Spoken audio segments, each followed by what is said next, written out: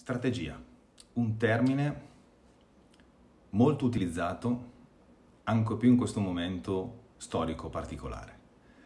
Partiamo da cosa, cosa dice Wikipedia rispetto alla parola strategia. Lo definisce un piano di azione di lungo periodo volto a impostare e coordinare una sequenzialità di attività al fine di raggiungere un obiettivo ben definito.